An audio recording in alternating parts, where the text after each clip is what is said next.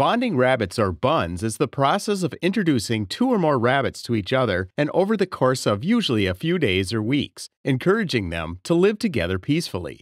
You will need to bond your rabbits because rabbits are territorial by nature. The rabbit already in your home will be very territorial with the new rabbit you bring home as his or hers companion and will probably nip, chase, rip out patches of fur, and in extreme cases, even kill the newcomer. We want to help you avoid your buns injuring themselves, so we're going to go over bonding step by step. Please remember though, every rabbit, like every person, has a different personality, so you need to tailor our suggestions to your pet. But before we get started, if you like our content, please support Pet Care Club by clicking subscribe and like. Now, without further ado, let's jump into Step 1.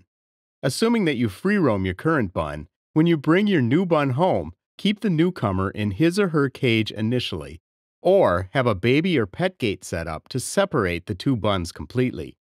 We recommend the gate rather than the cage so your new bun can also feel comfortable exploring and roaming.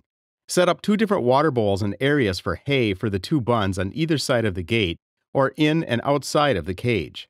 Let them see and sniff each other. In most cases, they'll be curious about each other and may touch noses or place their paws on the cage or gate. It's just their way of saying, Who's that? In addition to food and water, don't forget to add crucial sources of entertainment. That means tossing cups, chew sticks that can also be tossed, and toilet paper rolls to break up the boredom. Cardboard boxes that they can dart in and out of, as well as hop on top of, will be fun for your buns too. Step 2. Step 2 could also be part of Step 1, depending on how quickly you see your buns bonding. It's creating a neutral territory that your longtime bun doesn't usually play, rest, or eat in. It can be a hallway, part of a room, or even the bathroom. It's really important to choose a neutral place to introduce your buns so that your first bun doesn't react aggressively to defend his or her territory. Place the two buns in the neutral space without a gate, cage, or anything else in between them. You must be present and fully focused on your two rabbits so that you can pick one up if you see one or both get testy. Again, this means not being on your phone or otherwise distracted, so you can observe your two buns and act as the referee and mediator.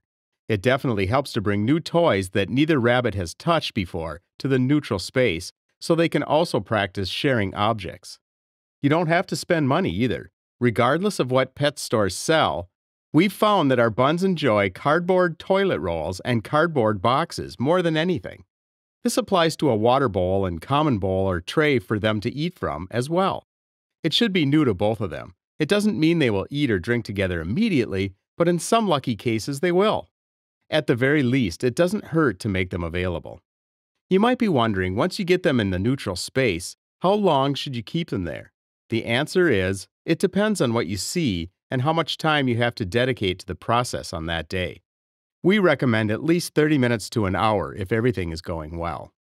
Well means there's no violence and they're ignoring each other, or that even if there's a short chase, as soon as you break it up, they ignore each other. The best case scenario is that they start sniffing and touching each other immediately. On the other hand, if you see there's nonstop aggression from either side, separate them again with a pet gate and try the next day. If you have the time on any day throughout the bonding process, feel free to try this more than once a day. Be sure to spend time petting and otherwise playing separately with both rabbits, not only the new one. Just remember, they're getting used to each other. Your new bun has been brought to a new home. Your old bun is learning how to share their home and their parent, aka you, with their new companion. Most importantly, remember that bonding is usually a process, so don't get discouraged if it doesn't happen overnight.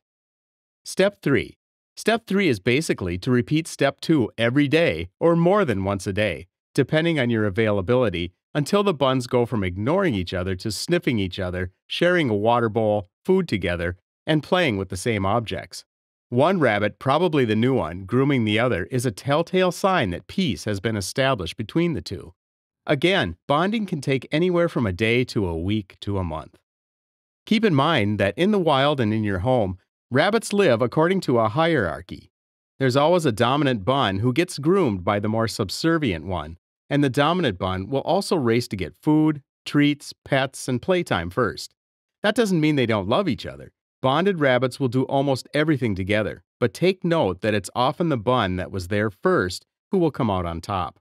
And there's nothing wrong with it as long as his or her companion is okay with that dynamic.